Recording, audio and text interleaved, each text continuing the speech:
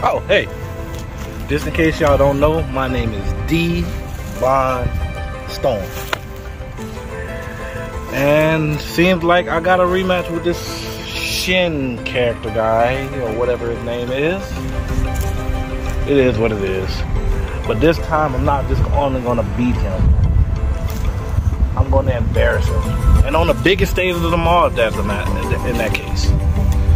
Shin, he can't handle this stuff. And after Shin, Sporty Boy, you're next. So be ready. I'm already counting the seven wins.